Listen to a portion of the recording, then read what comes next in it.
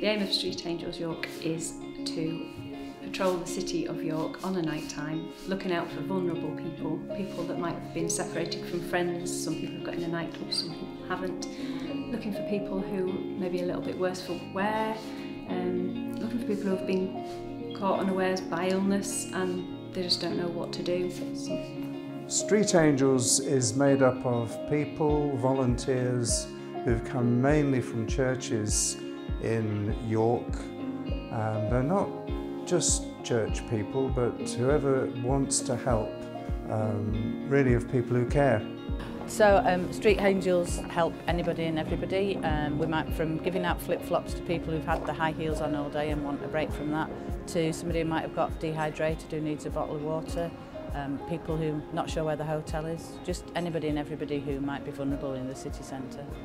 I like street angels because sometimes we just prevent ambulances having to be called if you can just stay with them and get them into a position where they can be um, got home.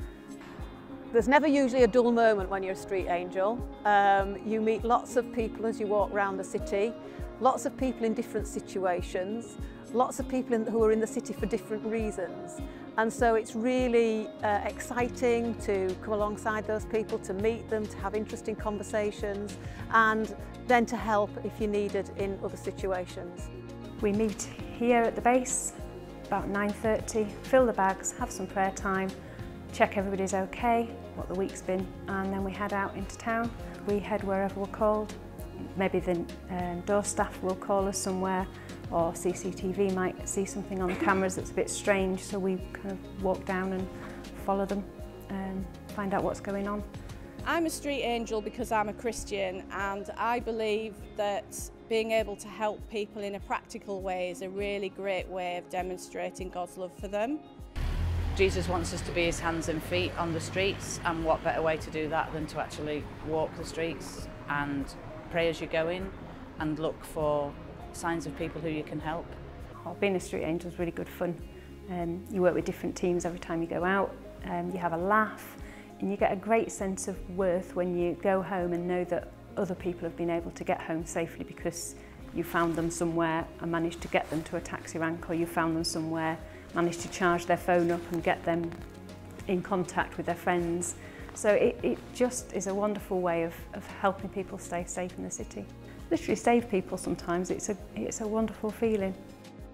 Street Angels are a good thing simply because they, from a, from a, a police perspective, um, they're taking a lot of workload away from us when we could actually be better utilised, better deployed.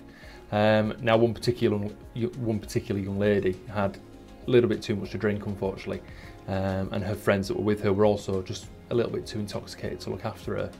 Now, if the street angels weren't on that night, that meant that we would have had to sit with her, uh, wait for an ambulance to come. But because the street angels were on, we managed to communicate with them because we've all got radios where we can speak to each other. Um, police, street angels and door staff, we can all speak to each other if we need to. So we called First Street Angels assistants who came over very promptly and, uh, and took over uh, looking after the young lady.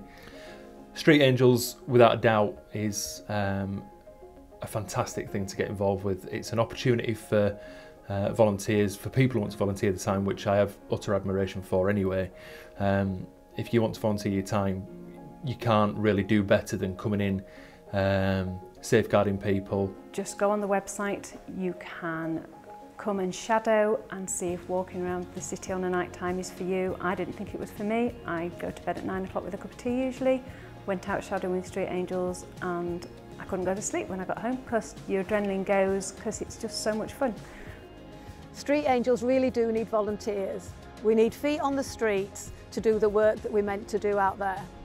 So we take men and women, any age group so long as you're 18 or over, and we do have volunteers up to and including in the 70s and so long as you're fit and active then it may be something that you could do. So if that's something that you feel drawn to then find out more about us, go to the website and get in touch.